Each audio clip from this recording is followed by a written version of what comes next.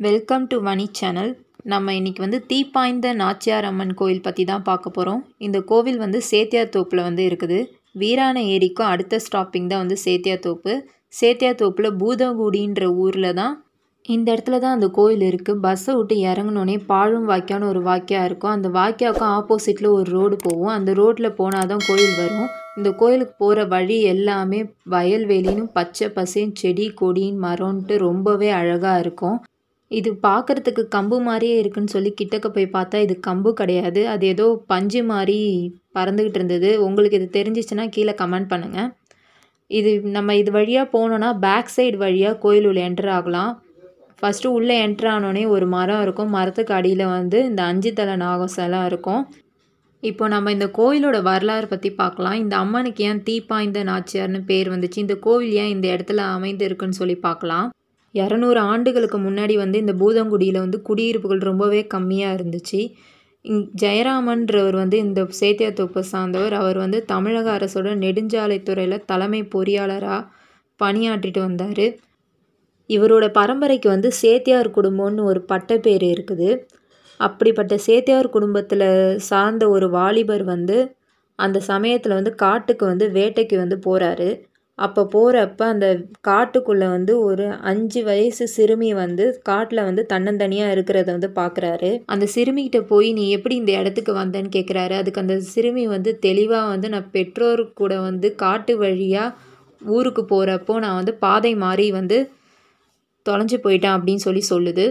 அந்த சிறுமியை வந்து அவரோடையே கூட்டுட்டு போய் அவருடைய வளர்ப்பு மகளாக வந்து அந்த சிறுமியை வச்சு வளர்க்குறாரு.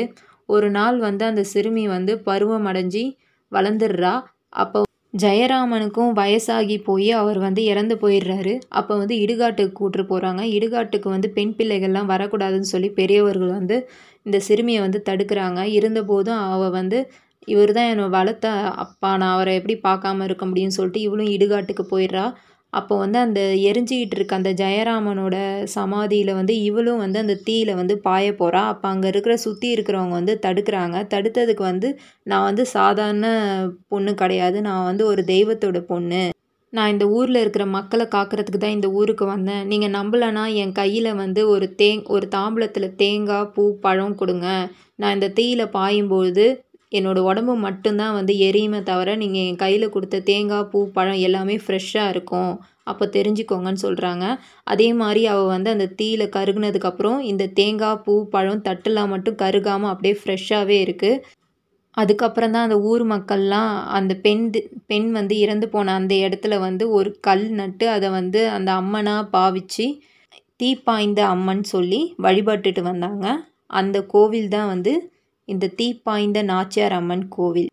இது ரொம்பவே சக்தி வாய்ந்த கோவில். அதனால நாங்களும் இன்றைக்கி ஆடி முதல் வெள்ளின்றதுனால கோயிலுக்கு வந்து மாவிளக்கு மாவெல்லாம் போட்டுட்டு சாமியை கும்பிட்டோம்.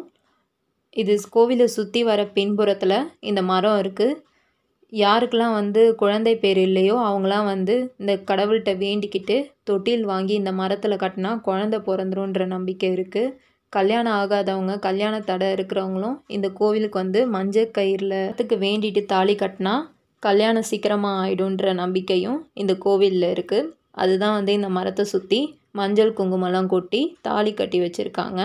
நீங்களும் கண்டிப்பாக இந்த கோயிலுக்கு வந்து இந்த சாமி வந்து தரிசனம் பண்ணிட்டு போங்க.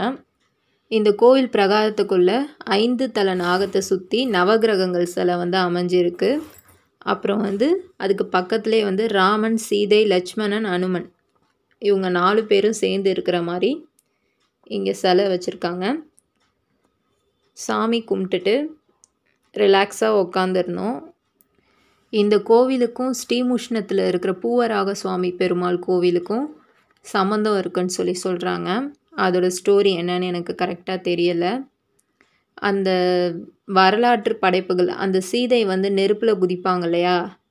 அந்த சிற்பங்கள்லாம் வந்து அங்கே செதுக்கி வச்சுருக்காங்க கோயிலோட மேல்புறத்துலலாம். செவுத்தை சுற்றி அதை தான் வந்து பெயிண்ட் பண்ணி வச்சுருக்காங்க. நீங்களும் சேத்தியாத்தோப்பு பக்கத்தில் இருந்தீங்கன்னா சேத்தியாத்தோப்பு காட்டுமன்னார் கோயில் சிதம்பரம் சரௌண்டிங்கில் இருந்தீங்கன்னா கண்டிப்பாக நீங்களும் இந்த கோயிலுக்கு போயிட்டு வாங்க. மைண்டுக்கு வந்து ரெஃப்ரெஷ்மெண்ட்டாக இருக்கும். நாங்களும் வந்து சாமி கும்பிட்டுட்டு கிளம்பிட்டோம். எங்களுக்கு இந்த கோயிலுக்கு வந்துட்டு ஒன் அண்ட் ஆஃப் ஹவர் கழித்து தான் பஸ்ஸே இருந்தது. அது வரையும் வெயிட் பண்ணிகிட்டு இருந்தோம்.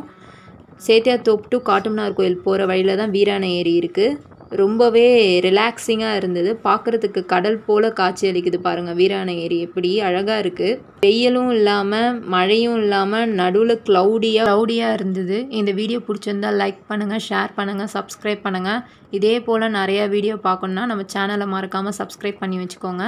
இதோட நெக்ஸ்ட் வீடியோவில் பார்க்குறேன். பாய்